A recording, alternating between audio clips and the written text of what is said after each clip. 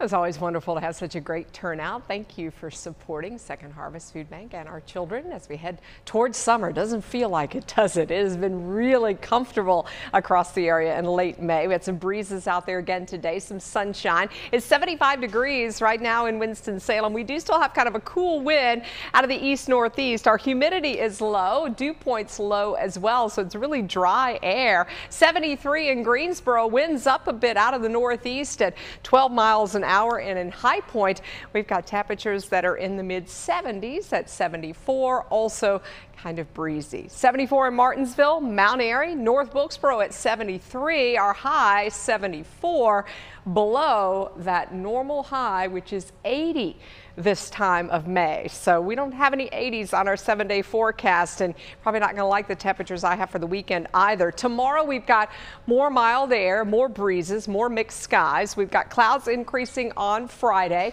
breezy, mild, and then for the weekend, cloudy cool, windy, and now it looks like scattered rain is more likely. Our confidence increasing in the track of this storm. So we've got impact days for you on Saturday and Sunday with good coverage of rain mostly. The rain is down east to right now. It will stay there for now. So if you do have some evening plans, it's really pleasant. You might need a light jacket or a sweatshirt if you're out later on as the sun goes down. Tomorrow morning, you'll likely need that as well. 50 degrees in the mountains, 54 in the Piedmont Triad. We actually have a front just to the north that's going to push southward by tomorrow morning.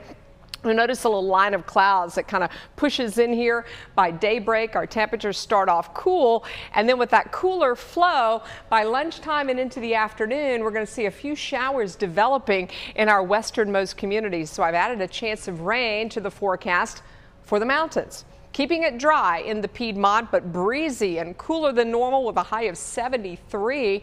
Those cool winds as well in the foothills with a high of 74 tomorrow. Isolated shower chance in the foothills. A few spotty showers are in the forecast for the mountains with temps in the mid to upper 60s. And then for the weekend, we're going to watch that storm system down to our south. So for Thursday, we stay cool. We start to bring some clouds inland a bit by Friday, and we'll look for dry skies on Friday, but then that storm does move inland into our area. It's just forming right here now. It will track northward and push that rain in during the day on Saturday, it looks like. The storm slows down, so that keeps wet weather around even into Sunday and Monday. So here is our seven day forecast cooler than normal. I may have to take those highs on Saturday and Sunday and actually drag them down into the 50s if our confidence increases even more so for that weekend forecast.